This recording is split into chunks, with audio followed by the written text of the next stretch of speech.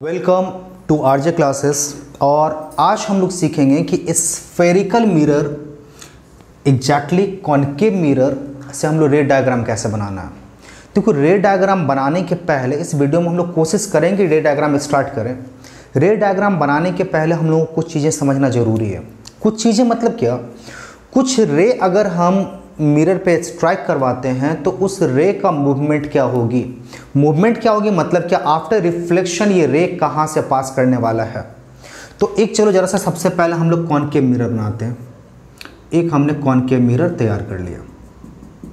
Concave mirror? ठीक है। अभी कॉनकेव मिरर के लिए सबसे पहले आप जो भी रे पास कराएँगे, उस रे का नेचर क्या होगा? क्योंकि रे डायग्राम अगर आपको बनाना है तो आपको पता होनी चाहिए कि आपका कौन सा रे किस तरह का मूवमेंट देगा और ये कहाँ से पास करेगा after reflection from the mirror तो ये हमने चलो ज़रा सा बना लेते हैं। ये पोल फोकस सेकेंड फोकस या इसको आप सेंटर ऑफ़ कर्वेचर भी बोलते हो। आप इसको सेकेंड फोकस बोल लो या सेंटर ऑफ़ कर्वेचर बोथ तो बहुत सारे बुक में आपको सेकेंड फोकस मिलेगा। बहुत सारे बुक में आपको ये सेंटर ऑफ़ कर्वेचर मिलेगा। मैक्सिमम बुक में आपको ये सेंटर ऑफ़ कर्वेचर ही लिखा होगा। चलिए ज़रा सा। अब सबसे पहले समझते हैं कि आप जब रे डायग्राम बनाओगे तो आपका रे का नेचर क्या होनी चाहिए? कौन सा रे कहाँ से पास करे और ये फिर ये मूवमेंट क्या होगा? सपोज़ करो, अगर मेरे पास ray of light parallel to principal axis है क्योंकि लास्ट आपको डेफिनेशन भी दिए थे तो कुछ कुछ चीज़ें बहुत ईजिली समझ में आ जाएगी। अगर कोई भी रे ऑफ़ लाइट मेरा पैरेलल टू प्रिंसिपल एक्सिस है, अच्छी तरह समझिएगा। So parallel to principal axis अगर मेरा रे ऑफ़ लाइट मिरर पे स्ट्राइक करवाते हैं और यह स्ट्राइक होता है so after reflection they will pass through the क्या हो जाएगा? फोकस इस तरह के रे कहाँ से पास होंगे? फोकस से पास होंगे। ये प्रॉपरली समझ लीजिए आप, अच्छी तरह समझ लीजिए। तो समझ में आ गया होगा कि अगर पैरेलल है प्रिंसिपल एक्सिस के, फिर से रिपीट करते हैं। अगर प्रिंसिपल एक्सिस के पैरेलल अगर हमको रे ऑफ़ लाइट मिलता है या अगर हम लेते हैं so under that situation that ray of light will pass through the focus ये तो पहला कंडीशन आ गया। सेकेंड कंडीशन की बात करते हैं, इसी में हम तीनों कंडीशन समझने की कोशिश करेंगे। सेकेंड सेकेंड आपके पास कंडीशन है, क्या आप सेकेंड फोकस से पास कराओ? कहाँ से? सेकेंड फोकस या सेंटर ऑफ़ कर्वेचर आप जो भी बोलना चाहे, आप बोल सकते हैं, कोई टेंशन नहीं है। अगर कोई भी ray of light second focus या सेंटर ऑफ़ कर्वेचर से पास करता है, ये जिस पाथ को फॉलो करते हुए मिरर पे स्ट्राइक करेगा it will retrace its path मतलब क्या हो जाएगा? रिफ्लेक्शन के बाद ये कहीं और डाइवर्ट नहीं होगा, या किसी दूसरे रूट पे आपको नहीं मिलेगा। जिस रास्ते ये गया था एग्जैक्टली उसी रास्ते ये वापस आ जाएगा। अच्छी तरह समझिएगा। मतलब आपको जो इंसिडेंट रे मिलेंगी, वही आपके पास रिफ्लेक्टेड रे भी होगा।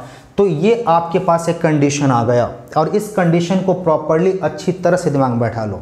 क्योंकि ये एक लौता कंडीशन होता है कि जब आपके पास रे ऑफ़ लाइट मिरर पे स्ट्राइक तो करेगा, और ये रिट्रेस करेगा अपने पाथ को। तो कभी कभी क्वेश्चन आता है कि under what situation a ray of light striking on the spherical mirror retraces its path so आपका जवाब भी यही होना होगा when ray of light passes through the second focus और centre of curvature it retraces its path चलिए जरा सा ये तो समझ में आ गया हमको।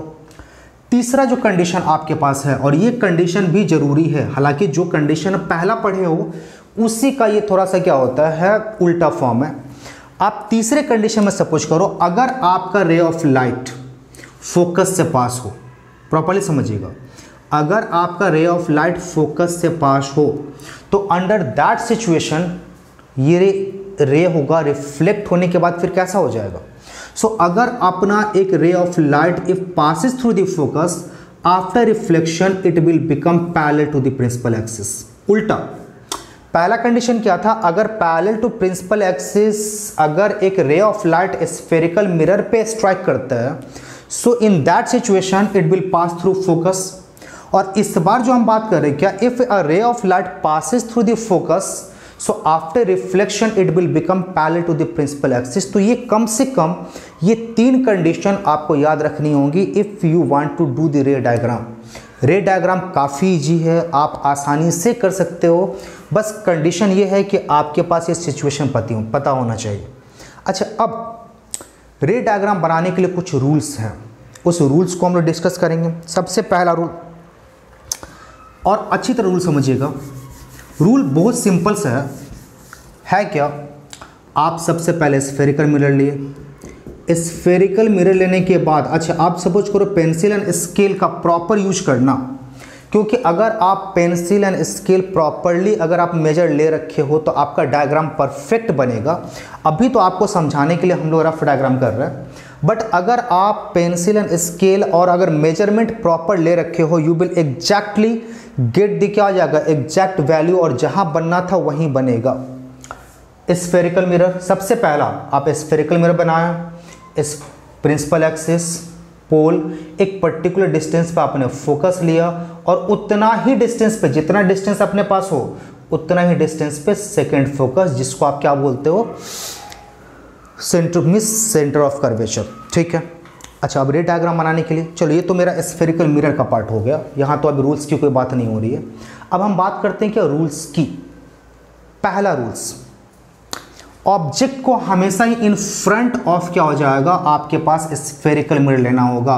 Object should be kept in front of the mirror on the principal axis और कैसे लेना आपको? Perpendicular at an angle of 90 degree to the principal axis ये याद रखिएगा। पहला कंडीशन याद रहा कि object in front of mirror in front of mirror पहला condition in front of mirror दूसरा कंडीशन आप क्या बोले? Object should be kept on the principal axis principal axis पे ही आपको ऑब्जेक्ट लेनी होगी और दूसरा कोई भी जगह आपके पास नहीं है।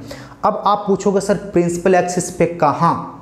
ये पोजीशन आपको पहले से बताया होगा कि आप इस पोजीशन पे ऑब्जेक्ट को रखो या इस पोजीशन पे आपको बताया जाएगा, आप फोकस पे ऑब्जेक्ट को रखो या आप फ़र्स्ट एंड सेकंड फोकस के बीच में रखो या सेकंड फोकस पे रखो या बियॉन्ड सेकंड फोकस तो वो पोजीशन आपको बताया रहेगा और उसी पोजिशन पे तो आपका सेकेंड पॉइंट क्या बोले? Object should be on the principal axis आप क्या बोले?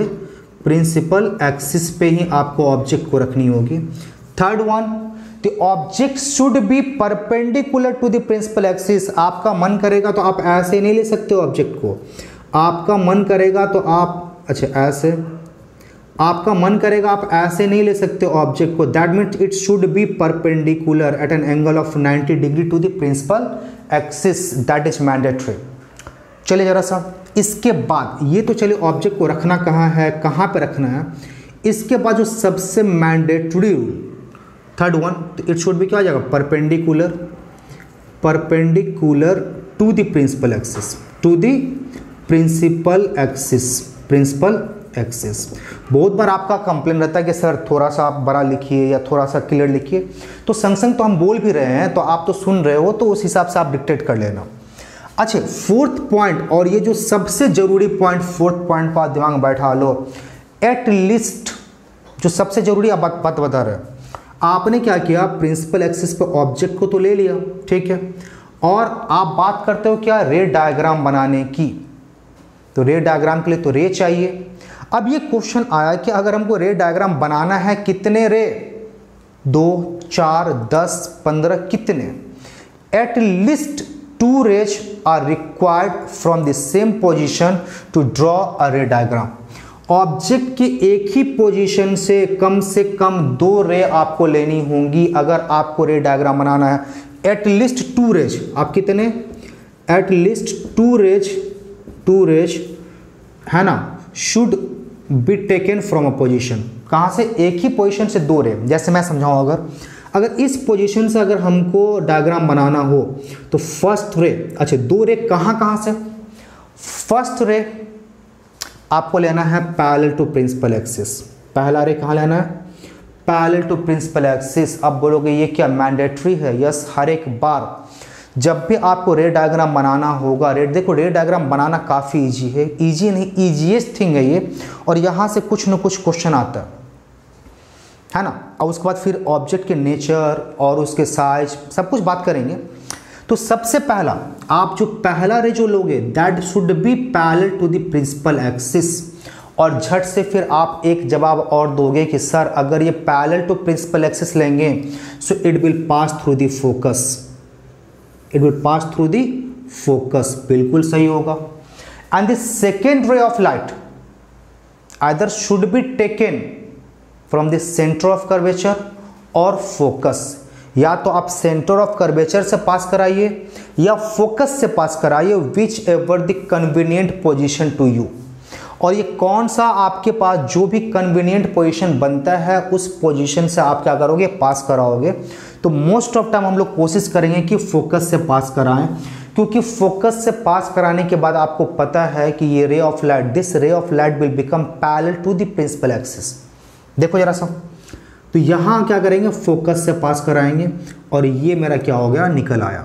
अच्छा अब ये जहाँ पे दोनों रे ऑफ़ लाइट एक दूसरे को क्या करेंगे? एग्जैक्टली exactly मीट करेंगे। ये मीट करेंगे मतलब क्या? एक दूसरे को क्रॉस करेंगे। तो एग्जैक्टली exactly जिस पोजीशन पे ये दोनों रे ऑफ़ लाइट एक दूसरे को क्रॉस करेंगे दैट विल बी दी क्या हो जाएगा? Position of the formation of the image और ये मेरा क्या हो जाएगा? यहाँ पे हम लोग उल्टा क्या करेंगे? ये इमेज बना देंगे।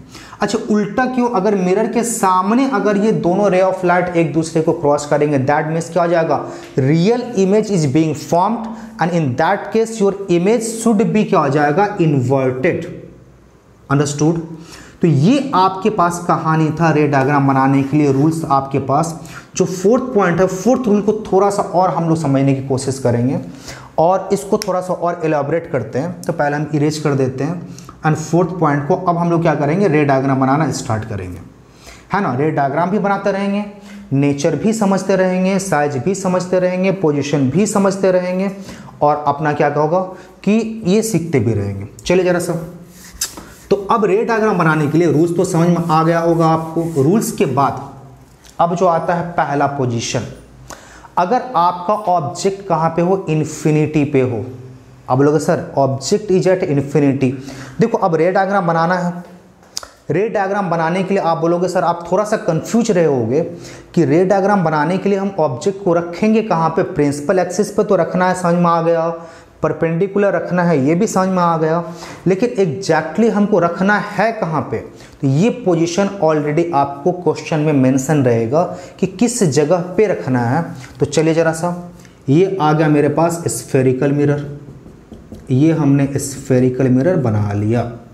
ये हमने ले लिया पोल ये हमने ले लिया फोकस और ये हमने ले लिया सेकेंड फोकस और हम जो बात करें कितना? एट इन्फिनिटी एट इन्फिनिटी अब ये इन्फिनिटी पे जब आप ऑब्जेक्ट को रखोगे तो फिर आपके पास राइट डायग्राम कैसे बनाओगे?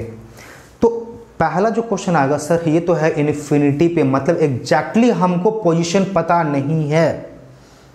हमको तो पता ही नहीं कि ऑब्जेक्ट है कहाँ पे एग्जैक्टली exactly जब हमको ऑब्जेक्ट पता नहीं है तो हम दो रे कैसे ले सकते हैं? सो अंडर दैट सिचुएशन एक रे तो आपको हमेशा ही पता है कि it will be parallel to the principal axis तो हम क्या करेंगे? जब कभी भी अपने को इन्फिनिटी पे ऑब्जेक्ट दिया हो या ऑब्जेक्ट का एग्जैक्ट पोजीशन पता ना हो तो हम क्या करेंगे?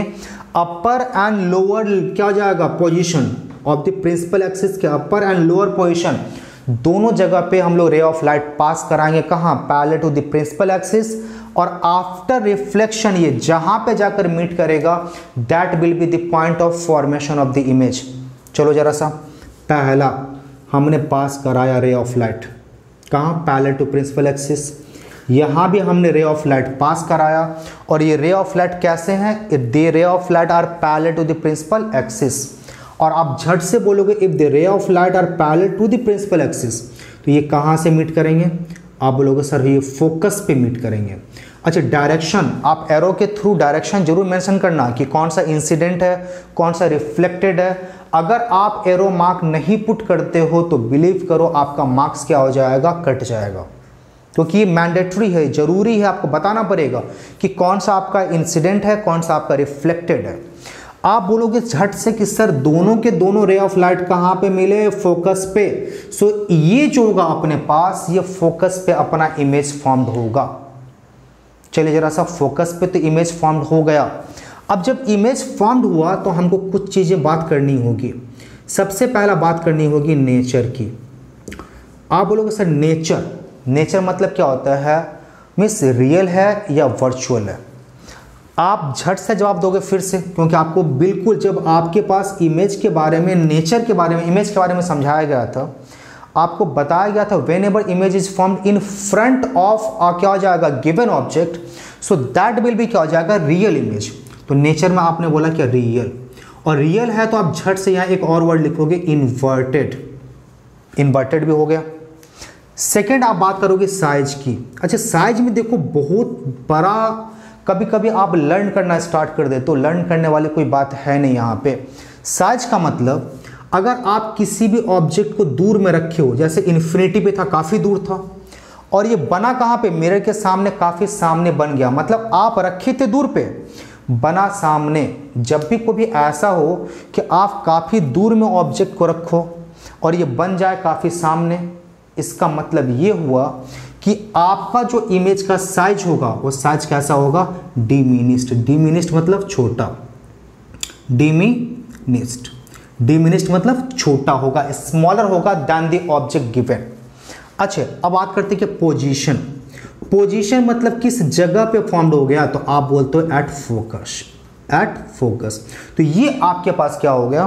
तो इमेज बनाएँ कैसे? हमने एक आज डिस्कस करा है। अभी और भी पाँच पोजीशन के लिए हैं तो नेक्स्ट हम लोग छः पोजीशन के लिए एग्जैक्टली छः पोजीशन मैं पोजीशन समझा दूँ पहले। आपका सबसे पहला होगा इन्फिनिटी पे, दूसरा होगा बियॉन्ड टू एफ़ तीसरा होगा आपके पास एट टू एफ़ फोर्थ होगा between F and two F F and two F fifth होगा एट एफ़ और आपके पास लास्ट वन बिटवीन दी क्या जाएगा? पोल एंड फोकस तो ये आपके पास डिफरेंट पोजिशन है। पहला infinity then beyond two F at two F between the F and two F at F and between the pole and focus ये डिफरेंट पोजिशन होगी। जहाँ पे आपको क्या करना होगा? इमेज क्या करना होगा? आपको बनाना होगा। और नेक्स्ट वीडियो में हम लोग इस बारे में क्या करेंगे? डिस्कस करेंगे।